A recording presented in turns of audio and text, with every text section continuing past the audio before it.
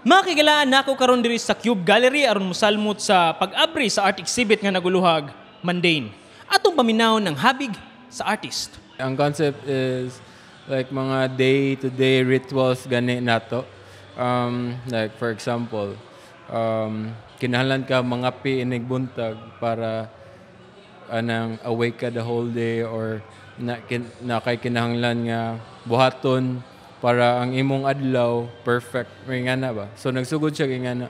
And then nag-develop na ko siya into uh, more personal rituals nga katong rituals of in a way coping.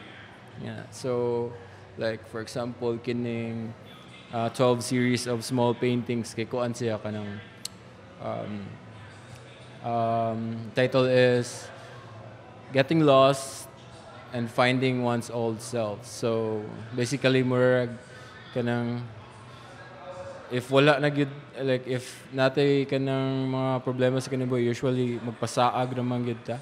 So, then ang kana nga pagpasaag mura na siya kanang way nato para makita nato atong kagalingon nga self or ang innocence nga nawa nato ba. Mm. So, like example sa kadto siyang usa kay morning talks. So murag left brain, right brain, murag inigbuntag, magstoryaanay silang duha nga oh unsa may kuan kinsa may kinsa may mo dominate ron. Hmm. Okay. Ang katubang emotional nga side or ang katubang logical nga side.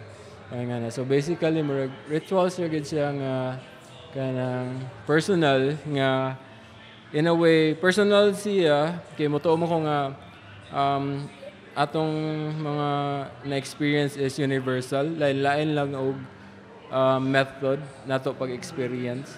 So like, kung ikaw maka-experience kag love, you experience it in a different way than I would experience it. Maringan na ba? So, ano na siya, like, kining mga burning houses, um, um, metaphors ni siya nako for kanang magbalhin-balhin og balay. Uh, so, More siya, kung mubalhin kag balay kay ako pagkabata nako mag sige mig balhin-balhin gani. Uh, uh, di jud ingon nga pagkabata murag somewhere na katong high school nako. Nang after ana murag kasi gina mig balhin-balhin ba. Mm. Yeah. Ano to ang akong gigamit nga kuan kay is uh, subject is akong bata kay nangita ko parallelism sa akong pagdako sa una o iyang pagdako karon. Mga kikilaan mo to'y nakatrigger sa mga artworks ni Mark nga nakakaroon diri. Ikaw, unsay nakatrigger sa imong art?